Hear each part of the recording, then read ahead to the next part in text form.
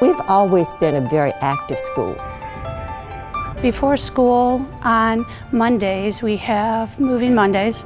Um, that's open to second, third, fourth, and fifth graders and family members. They can come walk, jog, run around the track.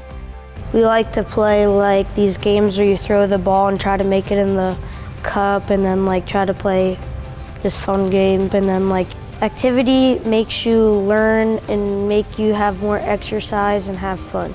I'm a runner and I'm also a parent and um, a health education specialist and so I really value physical activity and education in the schools especially and with our youth. Um, I just have seen the benefit over the years. It really serves our youth well. I do think it helps with her as well for focusing, getting that energy out and just waking your body up and keeping you healthy. A lot of what I do is trying to encourage them to be active outside of PE class. Collaborating with the classroom teachers is essential because kids need to realize that what they learn in the classroom applies in PE and what they learn in PE is directly relevant to what they're doing in the classroom in their real lives. We try to incorporate math and science, uh, geography. Rural Point Elementary School is allowed to run a pilot program for Girls on the Run. It's an international program whose mission is to inspire girls to be um, joyful, healthy, and confident. It was just incredible to see the amount of confidence that these girls had at the end of the season in themselves. We had a lot of staff that was involved. Um, they served as running buddies for some of the girls that didn't have a parent that was going to be their running buddy. They showed up to practices, ran laps with the girls, encouraged them throughout the week. Teachers, you'll see them out at lunchtime walking the track. There are exercise classes after school. The county is very supportive um, with different wellness promotions for staff too.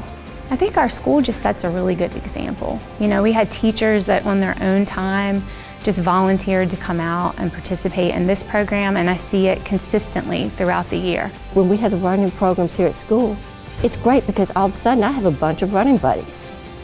And so what better way to start your Monday work week than to get to school a little bit early and go out into the track and run with a bunch of kids and their parents. It is fantastic.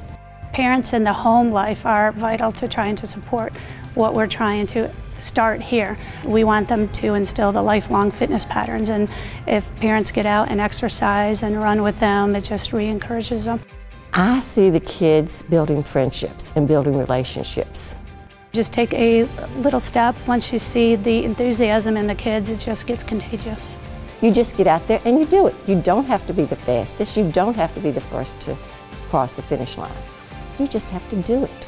But it's just getting out there and enjoying yourself and moving and getting some exercise. Our kids spend so much time at school and in school, so when the school helps provide that type of support and example, you know, it really makes a difference.